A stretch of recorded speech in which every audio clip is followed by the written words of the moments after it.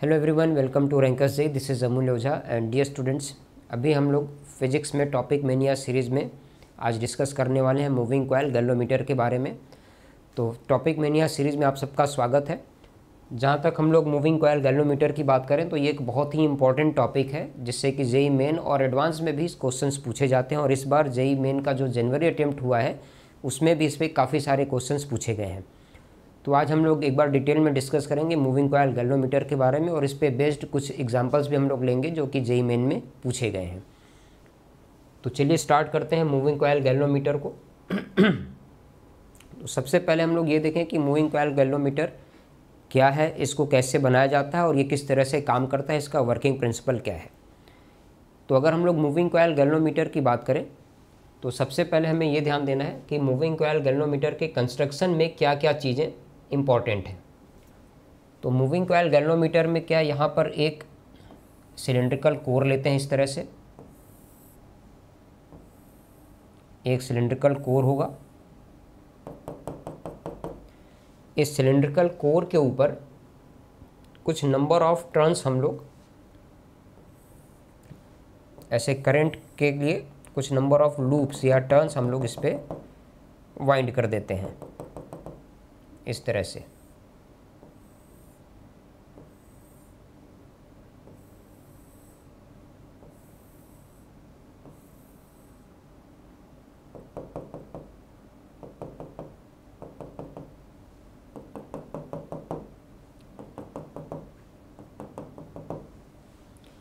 तो इस तरह से सिलेंड्रिकल कोर के ऊपर हमने एक कॉयल की वाइंडिंग कर दी है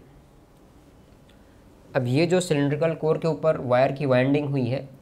इस पूरे सेटअप को हम लोग एक मैग्नेटिक फील्ड के अंदर रखते हैं वो मैग्नेटिक फील्ड कुछ इस तरह से होगा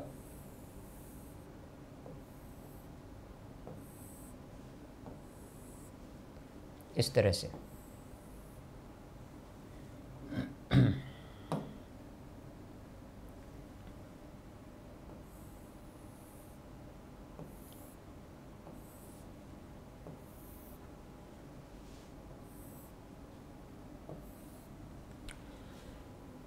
ऐसे एक मैग्नेटिक फील्ड होगा इसके अंदर हम लोग इसको रखेंगे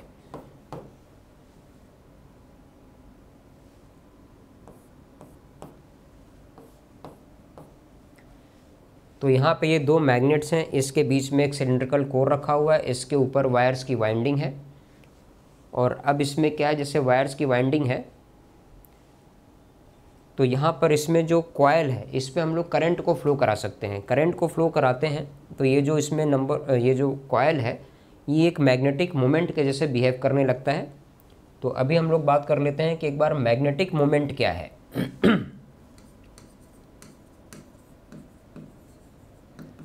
तो जैसे कोई करंट कैरिंग लूप है उस लूप में कोई करंट आई का फ्लो हो रहा है और उसका एरिया है ए तो मैग्नेटिक मोमेंट हम लोग लिखते हैं आई इंटू लूप का एरिया ए सपोज़ करिए कि जो हमने लूप लिया है उसमें एक लूप नहीं है कुछ एन नंबर ऑफ़ टर्न्स हैं तो अगर हम लोग नंबर ऑफ़ टर्न्स को भी इसमें कंसीडर कर लें सपोज़ करिए कि नंबर ऑफ़ टर्न्स हैं कैपिटल एन तो जो नया मैग्नेटिक मोमेंट हमें मिलेगा उसकी वैल्यू क्या हो जाएगी एन टाइम्स हो जाएगी मैग्नेटिक मोमेंट म्यू बराबर एन आई ए तो मैग्नेटिक मोमेंट जो हमने लूप यहाँ कंसिडर किया अगर इस लूप में नंबर ऑफ टर्न्स एन है उसका क्रॉस सेक्शनल एरिया है आई सॉरी ए और इसमें कोई करंट फ्लो कर रहा है आई तो इसका मैग्नेटिक मोमेंट हमें मिल जाएगा एन आई ए के बराबर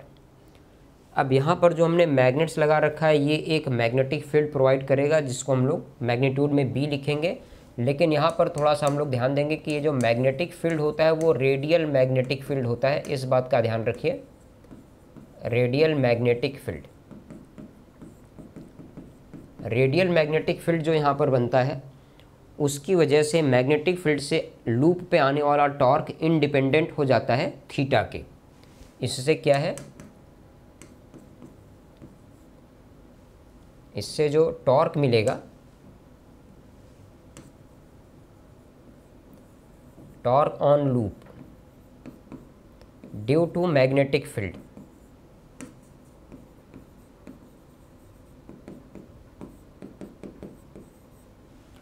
Torque on loop due to magnetic field becomes independent of theta.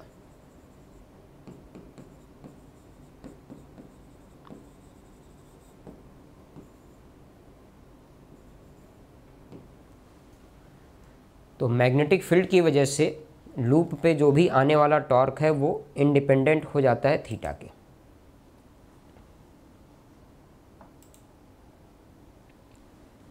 यहाँ तक क्लियर होना चाहिए सबको अब हम लोग एक बार ये देखें कि मैग्नेटिक फील्ड है ये लूप है इसमें हमने करंट को फ्लो करा दिया और इसने घूमना शुरू कर दिया तो जब ये घूमना शुरू करेगा तो इसको घूमने से रोकने के लिए भी एक हमें कोई ना कोई सेटअप यहाँ पर लाना होगा तो इसको घूमने से रोकने के लिए हम लोग क्या करते हैं जो सिलेंड्रिकल कोर होता है इसको एक सस्पेंसन वायर से जोड़ देते हैं यहाँ पर कोई एक सस्पेंसन वायर होगा ये एक वायर के जैसा है लेकिन इसको हम लोग एक स्प्रिंग के जैसे शो कर सकते हैं इस तरह से कुछ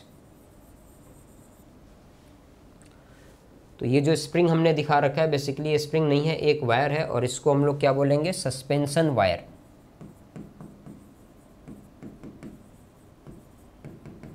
सस्पेंसन वायर इसका काम क्या है जब हम लोग जब ये सिलेंडर घूमेगा मैग्नेटिक टॉर्क की वजह से तो ये जो वायर है ये ट्विस्ट होगा तो ये ट्विस्ट होगा तो फिर ये एक रिस्टोरिंग टॉर्क जनरेट करता है तो सस्पेंसन वायर का काम क्या है यहाँ पर एक रिस्टोरिंग टॉर्क जनरेट करना ये एक रिस्टोरिंग टॉर्क प्रोड्यूस करेगा जिसकी वैल्यू होती है some constant C multiplied by angular displacement theta ये इसमें रिस्टोरिंग टॉर्क की वैल्यू है जो इस सस्पेंशन वायर से प्रोड्यूस होगा यहाँ पर जो हमने सी लिखा हुआ है इसको बोलते हैं टॉर्जनल कांस्टेंट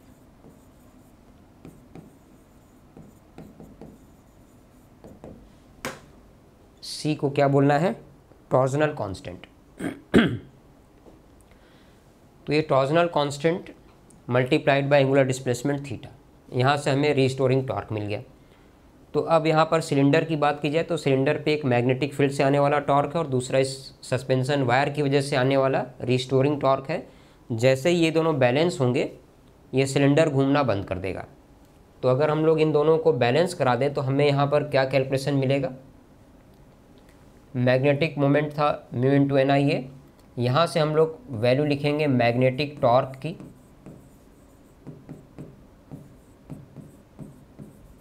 मैग्नेटिक टॉर्क की तो मैग्नेटिक टॉर्क जो हमें मिल रहा होगा उसकी वैल्यू क्या है म्यू बी साइन थीटा होती है जनरली लेकिन यहाँ पर थीटा से इंडिपेंडेंट हो जाएगा रेडियल मैग्नेटिक फील्ड की वजह से टॉर्क तो यहाँ पर टॉर्क की वैल्यू हम लोग क्या लिखेंगे म्यू टाइम्स बी तो ये वैल्यू आ जाएगी N I A B N I A B ये है मैग्नेटिक टॉर्क और इसके पहले हम लोगों ने क्या देखा है सस्पेंशन वायर से आने वाला रिस्टोरिंग टॉर्क दोनों को बैलेंस करा देंगे तो क्या होना चाहिए सी मल्टीप्लाइड बाई थीटा की वैल्यू हमें मिल जाएगी एन आई ए बी या सिलेंडर का एंगुलर डिस्प्लेसमेंट थीटा हम लोग मेज़र कर सकते हैं N A B divided by C multiplication में आई ऐसा हम लोग इसको लिख सकते हैं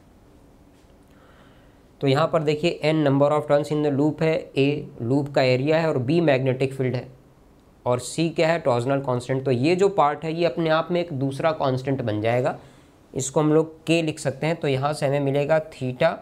is equal to some constant के मल्टीप्लाइड बाय आई ऐसा भी लिख सकते हैं तो इसमें हम लोग ये देख सकते हैं कि थीटा डायरेक्टली प्रोपोर्शनल हो गया है करंट के तो अगर थीटा और करंट के बीच में हम लोग कोई ग्राफ प्लॉट करेंगे तो ये एक स्ट्रेट लाइन बनेगा जिसके बेसिस पे हम लोग करंट और थीटा को एक लीनियर स्केल से रिलेट कर सकते हैं इसके बेसिस पे जो हम लोग यहाँ पर करंट को मेज़र करने के लिए स्केल यूज़ करेंगे वो हमें एक लीनियर स्केल बनाने में हेल्प करेगा लीनियर स्केल बनाने में हेल्प करेगा लीनियर स्केल में ध्यान रखना है आपको प्रोपोर्शनलिटी है तो उसको लीनियर बोलेंगे सेप चाहे जैसा हो हो सकता है कि जिसको मैं लीनियर स्केल बोल रहा हूँ उसका सेप सर्कुलर हो तो अगर सेप सर्कुलर है किसी स्केल का तो उसको सर्कुलर नहीं बोलना है वो लीनियर स्केल ही है तो अब जैसे यहाँ पर क्या था ये सिलेंडर था अपने पास मैग्नेटिक फील्ड से जो टॉर्क मिला उससे इसने घूमना शुरू कर दिया और ये जो सस्पेंशन वायर है इसने इसको रोक लिया तो ये कहीं ना कहीं जाके सेटल होगा अब ये जब घूम रहा होगा तो इसके लिए इसका एंगुलर डिस्प्लेसमेंट कितना होगा और जिसकी हेल्प से हम लोग थीटा को फाइंड करेंगे इसके कैलकुलेशन के लिए यहाँ पर हम लोग एक निडल को जोड़ देते हैं इस तरह से एक निडल को जोड़ देते हैं जो सर्कुलर शेप के एक स्केल पर इस तरह से घूम सकती है ऐसे अब ये जो सर्कुलर स्केल है इस पर कुछ रीडिंग्स होंगी जैसे यहाँ ज़ीरो से स्टार्ट कर लिए इस तरह की इस पर रीडिंग्स बनी होंगी और ये निडल इसके साथ ऐसे रोटेट होगी और जैसा इसका रोटेशन होगा उसके हिसाब से हम लोग एंगल को कैलकुलेट कर सकते हैं और जब एंगल मिल जाएगा तो उसी की हेल्प से हम लोग वो करंट फाइंड कर सकते हैं जो इस कॉयल में फ्लो कर रहा है तो ये पूरा वर्किंग प्रिंसिपल है और कंस्ट्रक्शन भी है मूविंग कॉयल गैल्नोमीटर का अब इसमें कुछ चीज़ें हम लोग अभी और डिस्कस कर सकते हैं जैसे यहाँ पर थीटा डायरेक्टली प्रोपोर्शनल हो गया है करंट के तो अब इसमें जैसे गैल्नोमीटर की जब हम लोग बात करते हैं तो गैल्नोमीटर को मेनली यूज़ किया जाता है छोटे से छोटे करंट को मेज़र करने के लिए या फिर डिटेक्ट करने के लिए कि भाई कहीं बहुत स्मॉल करंट है तो उसको भी गैलोमीटर मेज़र कर पाए ये हमारी प्रायोरिटी होती है तो अगर हम लोग गैलोमीटर को करंट को मेज़र करने के पॉइंट ऑफ व्यू से देखें तो इसमें हम लोग एक टर्म डिफाइन करते हैं सेंसिटिविटी ऑफ गैलोमीटर तो इसमें हम लोग देखेंगे current sensitivity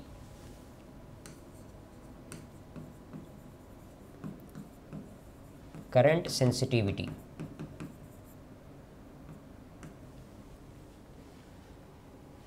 current sensitivity इसको हम लोग लिख सकते हैं स्मॉल के सफिक्स में आई करंट सेंसिटिविटी के आई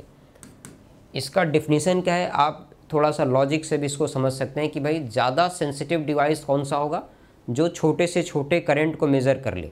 तो इसका मतलब जो हम लोगों ने एक स्केल डिफाइन किया है उस स्केल में छोटे से छोटे करंट को मेज़र करने के लिए हमारे पास अगर कोई डिवाइस अवेलेबल है तो ज़्यादा सेंसिटिव है तो इसका मतलब अगर हम लोग कोई दो डिवाइसेस को कंपेयर करें दोनों में एक जैसा डिफ्लेक्शन आ रहा है एक में छोटे करंट पे डिफ्लेक्शन है और एक में बड़े करंट पे तो ज़्यादा सेंसिटिव वो डिवाइस होगा जिसने छोटे करंट को मेज़र किया हुआ है उस डिफ्लेक्शन के लिए तो यहाँ पे हमारे लिए करंट को छोटा रखना ज़्यादा इम्पॉर्टेंट है तो इसलिए सेंसिटिविटी उसकी ज़्यादा अच्छी होगी जिसमें किसी भी गिवन डिफ्लेक्शन पर करंट छोटा हो तो यहाँ पर हम लोग करंट सेंसिटिविटी को डिफाइन करते हैं rate of change of angular displacement with respect to current d theta upon di d theta upon di इस तरह से हम लोग करंट सेंसिटिविटी को डिफाइन करेंगे और इसी के जैसे हम लोग वोल्टेज सेंसिटिविटी भी डिफाइन करते हैं यहाँ पर एक और टर्म यूज़ होता है वोल्टेज सेंसिटिविटी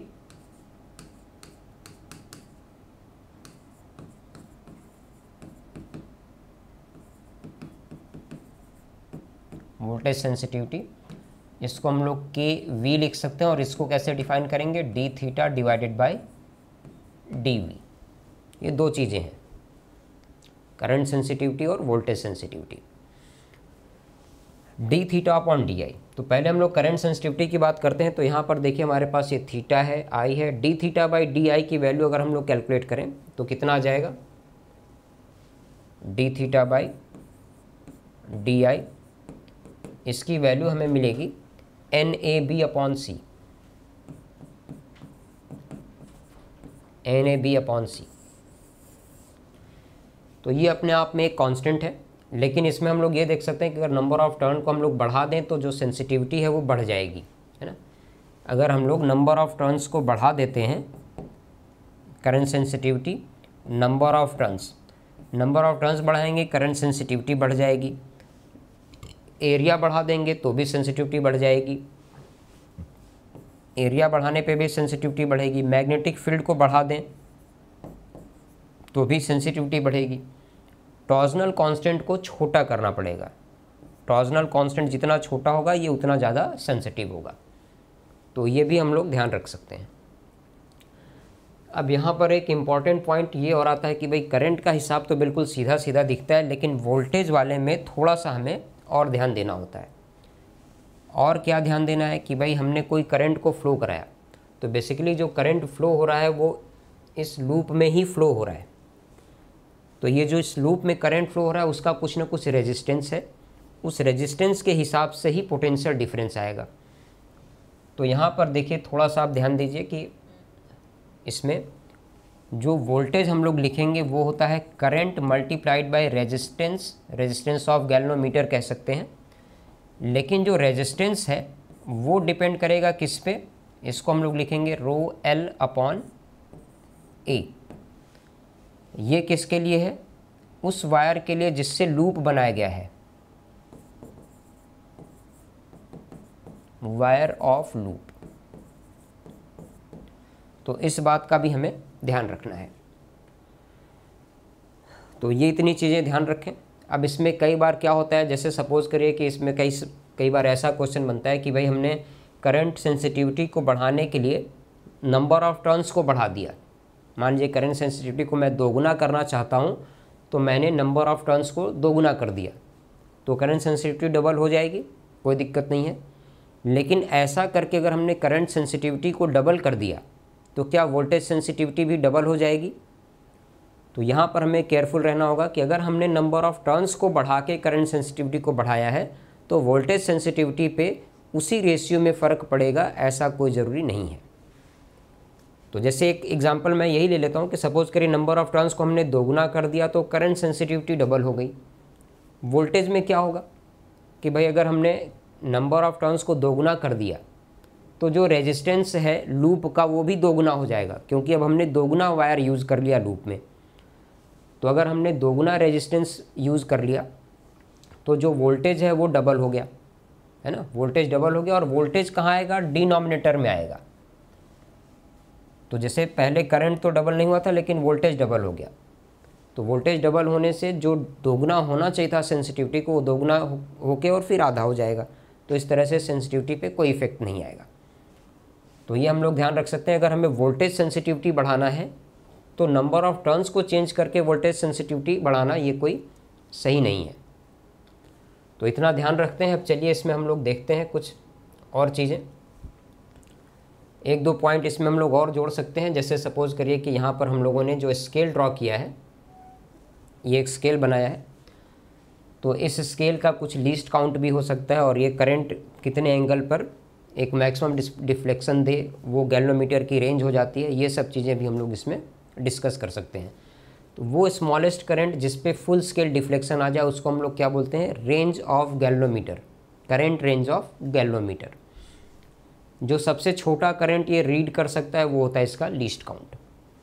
तो इन चीज़ों का ध्यान और रखें अब एक बार हम लोग देखते हैं कि जई मेन में इस बार जनवरी अटैम्प्ट में कुछ क्वेश्चन पूछे गए हैं तो एक दो एग्जाम्पल लेते हैं जैसे एक एग्जाम्पल मैंने यहाँ कंसिडर किया है for a moving coil galvanometer the deflection in the coil is zero zero point five radian ध्यान दीजिएगा zero zero point five radian for a moving coil galvanometer the deflection in the coil is zero zero point five radian when a current of ten milli ampere is passed through it if the torsional constant of the suspension wire is four into ten to the power minus five newton metre per radian The magnetic field is 0.01 Tesla and the number of turns in the coil is 200. The area of each turn in centimeter square is. तो ये सीधे सीधे एकदम फॉर्मूले पे question पूछ लिया गया है इसको अगर हम लोग सॉल्व करना चाहें तो देखिए क्या क्या इन्फॉर्मेशन हमें दिया हुआ है वो नोट कर लेते हैं इसमें सोल्यूशन में हमें थीटा दिया हुआ है zero point zero five radian इसके बाद टॉर्जनल कांस्टेंट दिया है C four into ten to the power minus five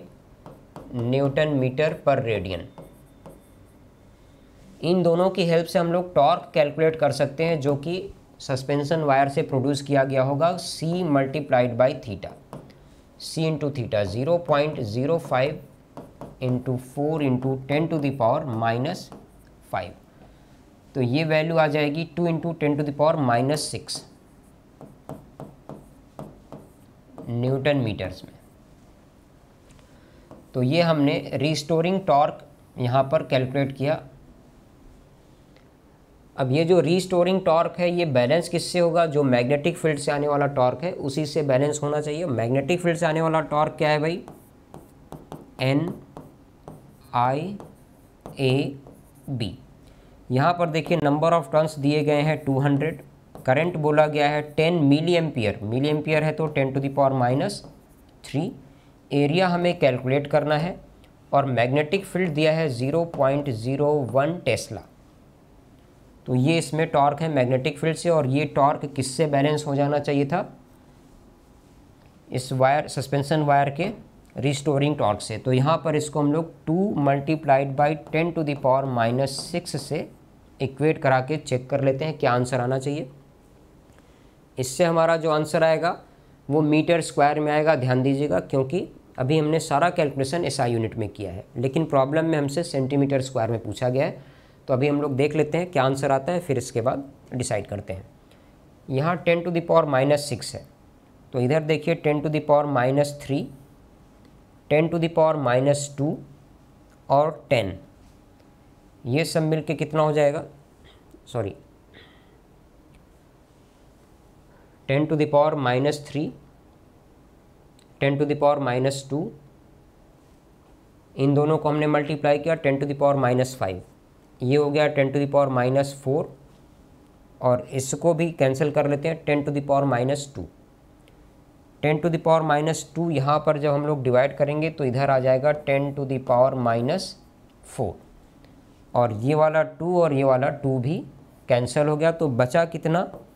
ए की वैल्यू सीधे सीधे आ गई है ten to the power minus four metre square इसको अगर हम लोग सेंटीमीटर स्क्वायर में कन्वर्ट करते हैं तो ये वैल्यू आ जाएगी one point zero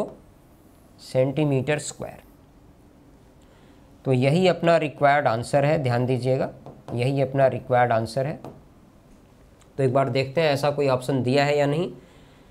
तो बिल्कुल ये सेकेंड ऑप्शन दिया गया है ट्वेंटी फिफ्थ जनवरी दो ये इवनिंग हम्म। वाले शिफ्ट में पूछा गया मूविंग कोयल गैलोमीटर पे बिल्कुल फॉर्मूले पे बेस्ड सिंपल सा क्वेश्चन है तो इस तरह के क्वेश्चन आप लोग कोशिश करिए कि ज़्यादा से ज़्यादा सॉल्व हो जाए और पूरी थ्योरी हमने यहाँ पर बता दी है मूविंग कोयल गैलोमीटर की एक एग्जाम्पल और ले लेते हैं जो thirty first January two thousand twenty three को ही पूछा गया है शिफ्ट टू में यहाँ पर देखिए क्या दिया the number of turns of the coil of a moving coil galvanometer is increase in order to increase ध्यान दीजिए number of turns of the coil of moving coil galvanometer is increased in order to increase current sensitivity by 50 percent number of turns को आपने बढ़ा दिया current sensitivity को 50 percent बढ़ाने के लिए द परसेंटेज चेंज पूछा क्या है percentage change in voltage sensitivity of galvanometer will be तो ये एग्जैक्टली exactly वैसा ही है जैसा अभी हम लोग थोड़ी देर पहले बात कर रहे थे तो यहाँ पे क्या है जैसे सपोज़ करिए कि हमने करंट सेंसिटिविटी के लिए एक कैलकुलेशन लिखा हुआ था D theta upon D I voltage sensitivity के लिए हमने एक कैलकुलेशन लिखा हुआ है D theta upon D V तो करंट सेंसिटिविटी के लिए हमने नंबर ऑफ टर्न्स को बढ़ा दिया है ना ये वाली जो वैल्यू आई थी इसकी वैल्यू क्या थी N A B by C इस तरह से था तो जिस रेशियो में हमने नंबर ऑफ टर्न्स को बढ़ाया है उसी रेशियो में करंट सेंसिटिविटी बढ़ेगा तो अगर हमने करंट सेंसिटिविटी को 50 परसेंट इनक्रीज़ कर दिया तो इसका मतलब यह है कि हमने नंबर ऑफ टर्न्स को भी 50 परसेंट क्या किया है इंक्रीज़ किया है नंबर ऑफ टर्न्स को भी 50 परसेंट इंक्रीज़ किया है लेकिन अब इसमें दिक्कत क्या है कि नंबर ऑफ टर्न्स को अगर हमने फिफ्टी परसेंट बढ़ाया तो इसके साथ जो वोल्टेज है वो भी 50 परसेंट इंक्रीज हो चुका होगा वो भी क्या होगा 50 परसेंट इंक्रीज कर चुका होगा कैसे इंक्रीज कर चुका होगा क्योंकि भाई 50 परसेंट नंबर ऑफ टर्न्स हमने बढ़ाया तो रेजिस्टेंस को भी तो हमने 50 परसेंट बढ़ा दिया रेजिस्टेंस भी क्या हुआ है 50 परसेंट बढ़ गया तो वोल्टेज जितना पहले मेज़र करना चाहिए था अब उसका डेढ़ गुना वोल्टेज वो मेज़र कर पाएगा किसी गिवन डिफ्लेक्शन पे तो जितना हमने इसमें सेंसिटिविटी को बढ़ाना चाहिए उसी रेशियो में यहाँ पर रेजिस्टेंस भी बढ़ गया इसलिए वोल्टेज में कोई सेंसिटिविटी ऐड नहीं होगी है ना वोल्टेज में हम लोग देखेंगे तो वोल्टेज सेंसिटिविटी में कोई इफेक्ट नहीं आएगा तो इस बात का हम लोग यहाँ ध्यान रख सकते हैं no change in voltage sensitivity